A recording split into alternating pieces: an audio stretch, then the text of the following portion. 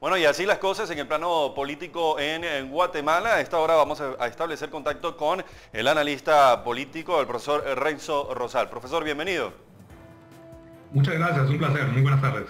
Bueno, el Tribunal Supremo ha rechazado este desafuero contra el presidente Jimmy Morales. ¿Cómo queda entonces en estos momentos? ¿Se ha librado de eh, todos los ataques eh, políticos que en, los actuales momentos, las últimas semanas, tenía el presidente Jimmy Morales en su contra, profesor.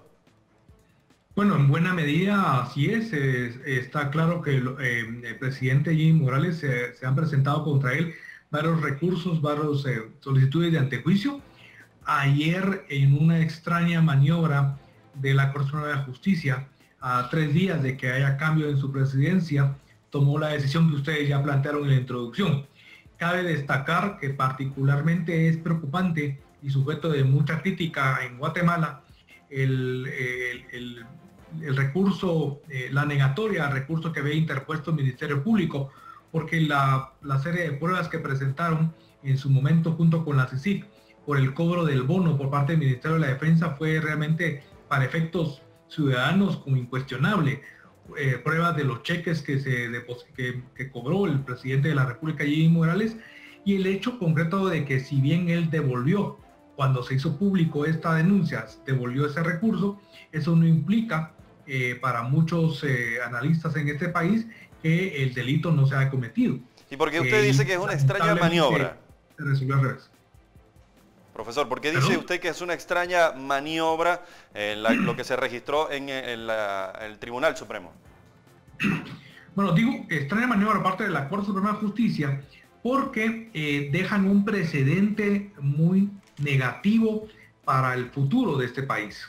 Porque al indicar que el presidente Morales ya está eh, fuera del posible ilícito al haber devuelto el dinero, significa que se deja la puerta para que otros diversas personas puedan también cometer ilícitos iguales o peores, pero que al devolver el recurso, tal parece que con ese hecho eh, se limpia, digamos, el delito. Eso es, me refiero a esa parte muy peligrosa del precedente que esta decisión deja eh, y que por supuesto también involucra ahora en la lista de las instituciones cuestionadas a la propia Corte Suprema de Justicia. Entonces los tres poderes hoy por hoy, los tres poderes del Estado en Guatemala, están pasando por un nivel de crítica, de cuestionamiento muy alto.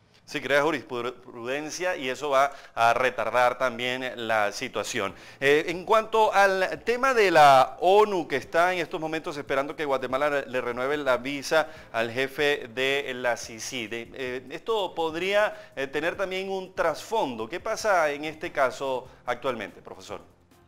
Bueno, tal parece que en, en la esencia es un problema de orden administrativo, pero que se está manejando en términos políticos. Cabe destacar que eh, ayer se presentó el, décimo informe eh, del cumplimiento del mandato de la CICIG y aunque la revocatoria se había hecho un día antes, fue ayer minutos previos a la actividad cuando se hizo público esta revocatoria. Entonces tal parece que si bien existiría algún tipo de argumento que se pudiera subsanar fácilmente, el manejo que está haciendo el gobierno de la República, especialmente la Cancillería, tiene, podría tener un trasfondo. Falta ver, la prueba de fuego es, ahora que ya se el sistema de Naciones Unidas y, la CICIG ya enmendaron el error y ya presentaron la nueva solicitud, falta ver si ahora realmente se va a hacer expedita la, la visa o si van a, el, gobierno va a argumentar alguna otra historia para igual eh, revocarle la visa. Ahí está la, prueba de, eh, clave, además tomando en cuenta la fecha decisiva de cuando vence esta visa, que estamos a, menos de una semana.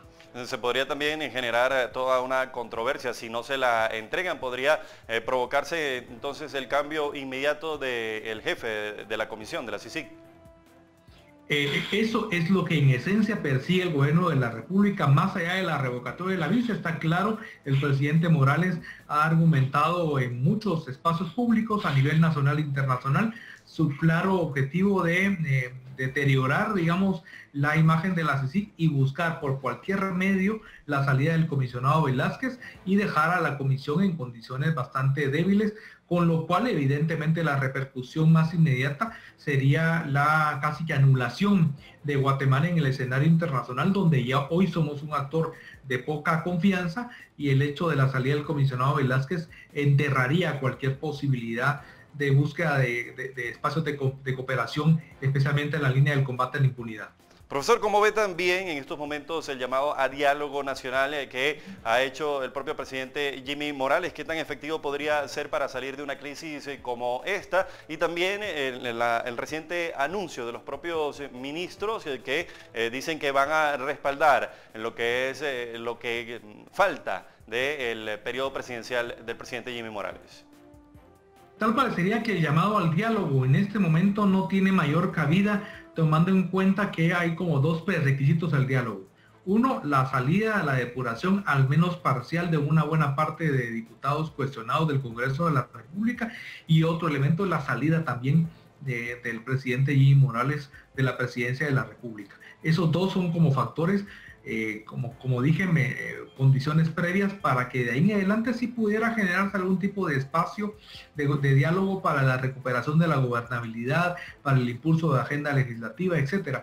Pero poner en discusión estos dos temas me parece que sería realmente una estrategia eh, por un lado mediática, una estrategia también de orden político para disuadir y bajar muchísimo la intensidad de la actual crisis en, el, en Guatemala.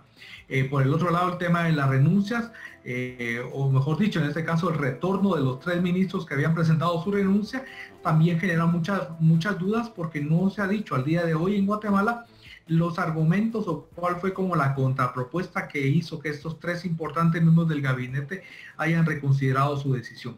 Entonces regresan sin dejar claro si eso obedece a una intención, interés personal o si hubo presión de actores externos, de terceros, que pudo haber influido para eso. En cualquier caso, aunque se dé el retorno de los tres ministros, eh, eso no, no, implica que gane terreno el Ejecutivo, el gabinete siempre queda muy disminuido, muy venido a menos, ahora dividido en dos grupos, los que le son, digamos, fieles, leales al presidente Morales que no han presentado ninguna renuncia, y estos tres eh, ministros que tal parece que su retorno obedece más a condicionamientos eh, en donde no necesariamente ha privilegiado elementos de, tema político eh, válidos, sino fundamentalmente algunos acuerdos que se han manejado debajo de la mesa.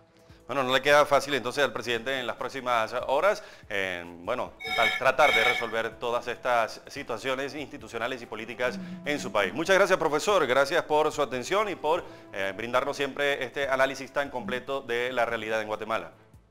A ustedes por el espacio, muchas gracias. Renzo Rosal, analista político, conversaba con nosotros sobre los últimos eh, temas que son noticias en Guatemala y que hacen referencia a la situación eh, con eh, el actual presidente Jimmy Morales. Amigos, con esta información vamos a una pausa y enseguida volvemos con más de C24 Noticias.